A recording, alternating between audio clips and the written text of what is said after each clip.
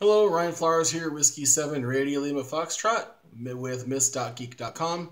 And today I'm going to show you the modification I did to my BitX 40, which is to replace the IRF 510 with the Mitsubishi RD15 HVF1. And why would I want to do that? Well, there's a couple of reasons. One is that some people say the IRF 510 is harder to getting hard to get and has been discontinued. I don't think it's the case. You can still get them. Uh, but nevertheless, some people, you know, want to replace it. Uh, the reason I did it is because I've modified my BitX 40 to work on multiple bands. So uh, I wanted more than a, like one or two watts out on 20 meters. So I wanted to replace the IRF 510. I, it, was, it was my main suspect. I was wrong, by the way. Uh, that wasn't the problem, and I really don't remember what the fix was. However, I am now getting five watts out, so I'm that's good enough for me. Um, the main problem in putting the uh, RD15 HVF1 in is that it has a different pinout. So let me show you what I'm talking about here. So you have the IRF510 and the HD15 H, RD15 HVF1. And the IRF510 pinout is ground drain source, and the RD15 HVF1 is ground source drain. By the way, this is the same thing. There's an, uh, an RDD or RD16HHF1, I think it is, another uh, chip that is common. Uh, I couldn't get that, so I got the RD15 HVF1. It works just fine at HF uh, frequencies. So clearly, there's some fancy footwork work that's got to be done there to make it fit.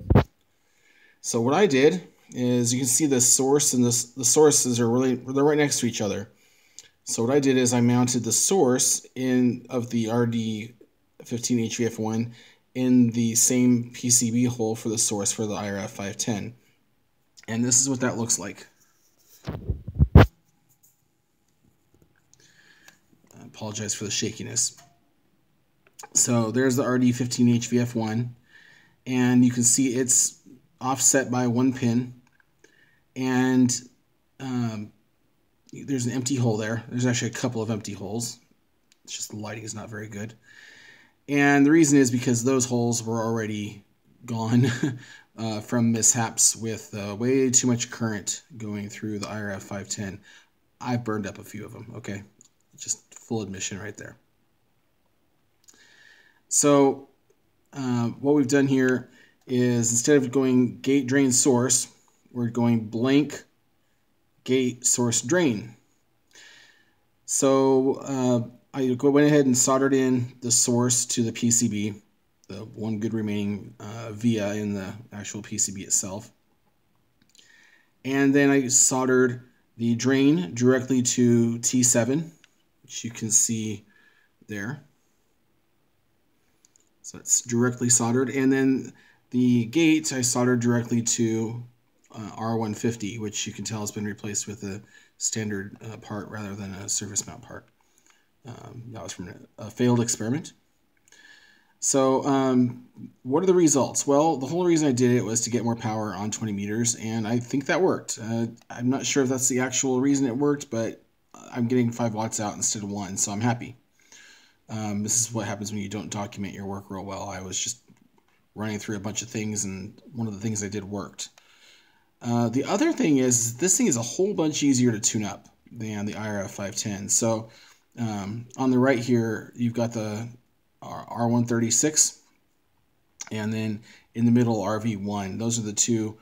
Uh, the RV1 controls the bias, and R, uh, R136 controls the drive. And they've got to be fairly specifically set with the IRF 510.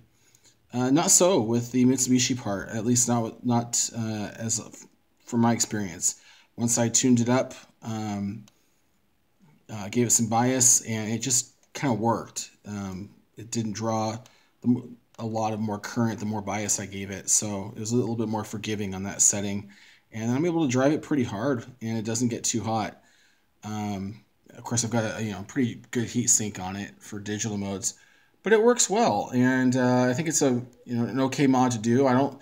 I'm not going to say that you should do this mod. Uh, because especially if you're just doing a 40 meters, you really don't need it. And even if you're doing 20, I think there's better ways to. I, think there's a better way to fix that so that it'll get more more output on 20. But um, but it works for me. And if this one blows, I'll put another one in. They are a bit more expensive than the IRF 510, and I think that's why Farhan originally went with the IRF 510 was for cost. And you know this IRF 510 is a dollar. This one was five dollars, and scale that's a huge difference. You know, I mean it's a $59 radio. An extra four dollars would make it a $64 radio or a $63 radio. So that's a, a price point thing. Um, and I'm glad that he used the IRF 510. So, anyhow, uh, that's this is my beat up and uh, modified and kind of repaired and hacked hacked re, hacked back together and whatnot. BitX40. Hope that you have found the video useful, enjoyable. Uh, leave your questions, comments, concerns in the uh, comments below. Make sure you subscribe there. And uh, check out the blog, miscdotgeek.com, M-I-S-C-D-O-T geek.com. Links in, in the, uh, it's down there. There's a link. All right, not on the board, in your browser.